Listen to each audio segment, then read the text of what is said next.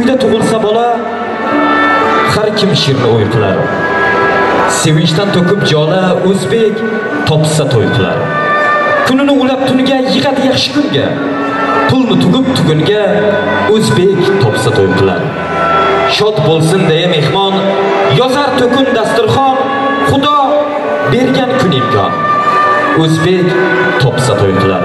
Ilohim o'zbegimizni xalqimizni topganlari har doim mana shunday yaxshi kunlarga to'yu bayramlarga buyuraversin deymiz. Avvalambor assalomu alaykum bardoshi mustahkam iymoni bo'ld boshiga dard tushganda uni ko'z yoshlari bilan emas balki kulgu bilan yenguvchi.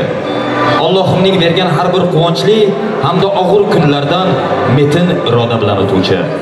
O'z baxtidan ko'ra farzandlarini baxtini ustun qo'yuvchi aziz zamondoshim. Assalomu alaykum yaratgan Allohimning bizga in'om aylagan 3-4 kunlik g'animat damlarini biz bilan yuqori kayfiyatga o'tkazishni ixtiyor aylagan barcha qadrdonlarimiz. Bugungi kechamizni asosiy sababchisi Olot tumanining ko'rki sanalmish bog'i shamol tantanalar saroyining shoh suppasida egallab turgan jajjigina o'g'lon Bobirjonning sunnat to'ylari o'zimizga berilgan fursatdan imkoniyatdan foydalanib boburjonni bugungi sunnat to'ylari bilan chin yuragimizdan muborakbod etamiz. Ushbu yigitimiz o'sib, ulg'ayib, voyaga yetib, ota-onasiga, bobo, buvisiga sodiq farzand bo'lsin. Kelajakda mana shu O'zbekistonimizni bayrog'ini ko'klarga ko'taradigan inson bo'lib yetishsin deymiz. Hurmatli yurtdoshlar, bugun davramizni Shabonaxon bilan birgalikda olib boramiz.